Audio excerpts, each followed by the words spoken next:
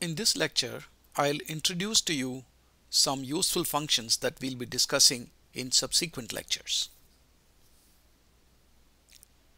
We are already familiar with the functions sum, average, max, and min.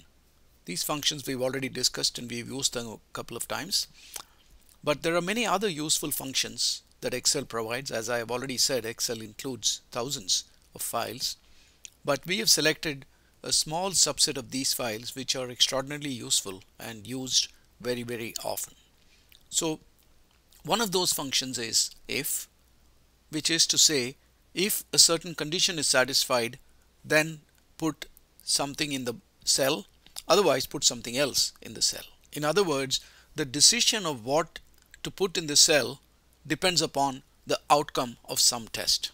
Of course we'll be introducing all of these discussing this in great detail in subsequent lecture. I just want to give you an introduction now.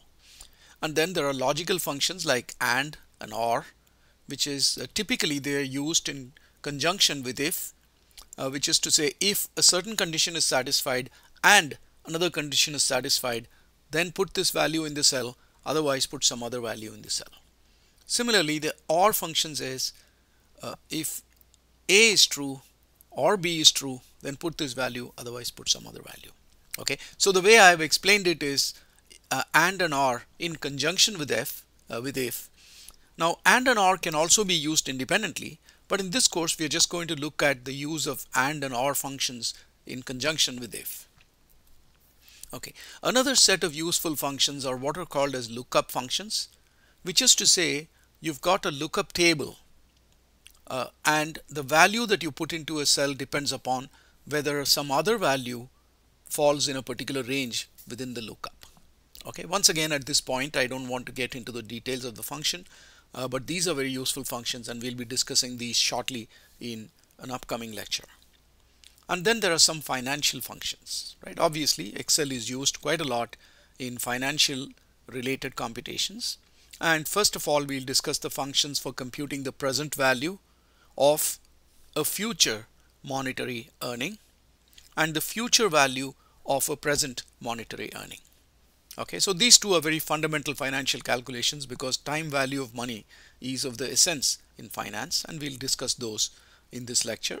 And then in that same lecture about financial uh, functions, we'll also look at two other important functions, the PMT function and the IPMT function, both connected with computing mortgage payments which is uh, when you take out a mortgage and then you're paying equal monthly installments of your mortgage you're paying it off.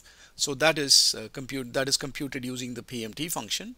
And the IPMT function is used to compute the interest portion of this mortgage payment. Once again the details will follow shortly. And then finally there is another very useful function which is called the sum product function. Uh, now whenever we've got two sets of values. You know, for example, I've got the number of items I bought. Let's say I bought 10 pens, uh, 20 pencils, 30 erasers.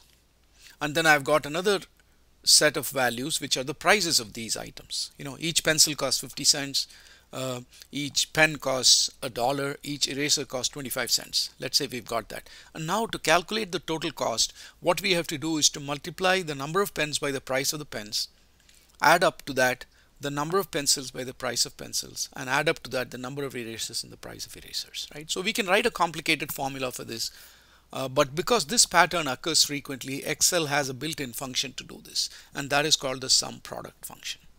Okay? So these are all the functions that we are going to be looking at in the upcoming lectures. Of course we won't discuss the first four of them because we've already covered them